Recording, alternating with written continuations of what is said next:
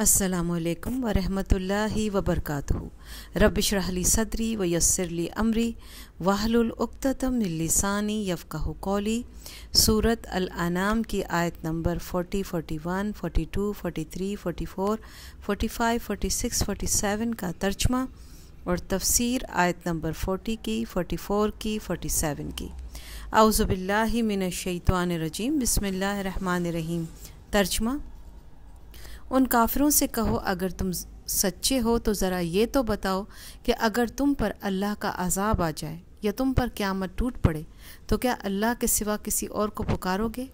बल्कि उसी को पुकारोगे। फिर जिस परेशानी के लिए तुमने उसे पुकारा है, अगर वो चाहेगा तो उसे दूर कर देगा। और जिन देवताओं को तुम अल्लाह के साथ शरीक ठहराते हो, उस वक्त उनको भूल जाओगे। और ए पैगंबर, तुमसे पहले हमने बहुत सी कौमों के पास पैगंबर भेजे। फिर हमने उनकी नाफरमानी की बिना पर उन्हें सख्तियों और तकलीफ़ों में गिरफ़्तार किया, ताकि वो अज्जो न्याज का शेवा अपनाएँ।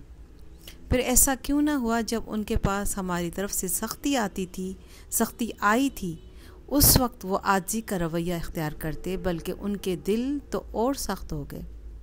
और जो कुछ वो कर रहे थे, शैतान ने उन्हें यह समझाया कि वही बड़े शानदार काम हैं। फिर उन्हें जो नसीहत की गई थी, जो वो सब भुला बैठे तो हमने उन पर हर नेमत के दरवाज़े खोल दिए।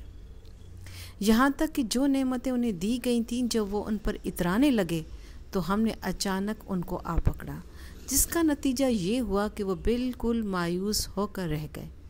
इस तरह जिन लोगों ने जुल्म किया था, उनकी जड़ काट कर रख दी गई। और तमाम तारीफ़ें अल्लाह की हैं, जो तमाम जहानों का परवरदिगार है।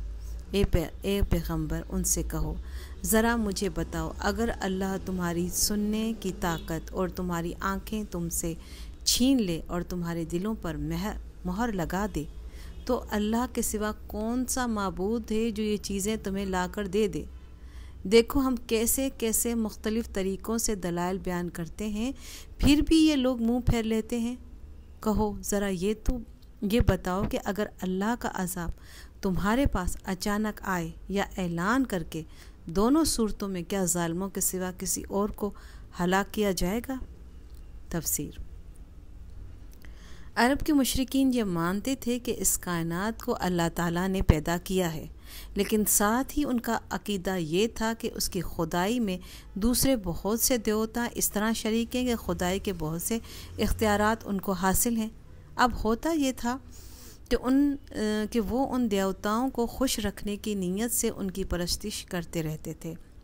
मगर जब कोई नागहानी आफत आ पड़ती, मसलन समंदर में सफ़र करते हुए पहाड़ जैसी मौजों में घर, घिर जाते थे तो अपने घिरे हुए देवताओं के बजाय अल्लाह ताला ही को पुकारते थे। यहाँ उनकी इस आदत के हवाले से ये सवाल किया जा रहा है, जब दुनिया की उन मुसीबतों में तुम अल्लाह ताला ही को पुकारते हो तो अगर कोई बड़ा अजाब आ जाए या क़्यामत ही आ खड़ी हो तो यकीनन अल्लाह ताला ही को पुकारोगे। अल्लाह ताला ने पिछली उम्मतों के साथ ये मामला फरमाया है कि उन्हें मुतम्बा करने के लिए उन्हें कुछ सख्तियों में भी मुबतला फरमाया ताकि वो लोग जिनके दिल सख्ती की हालत में नरम पड़ते हैं, सोचने समझने की तरफ़ मायल हो सकें। फिर उनको खूब खुशहाली अता फरमाई ताकि जो लोग खुशहाली में हक कबूलियत करने की सलाहियत रखते हों, वो कुछ सबक लें, ले सकें। जब दोनों हालतों में लोग गुमराही ही पर कायम रहे, तब उन पर अजाब नाजिल किया गया। यही बात कुरान करीम ने सुर आराफ में भी बयान फरमाई है। कुफ़ार मक्का आ हज़रत सल्लल्लाहु अलैहि वसल्लम मोहम्मद से ये भी कहते थे कि अल्लाह के जिस अजाब से आप हमें डराते हैं तो वो अजाब अभी क्यों नहीं आ जाता? शायद वो ये समझते थे कि अगर अजाब आया तो मोमिन काफिर सभी हलाक हो जाएँगे। उसके जवाब में फरमाया जा रहा है कि हलाक तो वो लोग होंगे जिन्होंने शिरक और जुल्म का इरतकब किया है।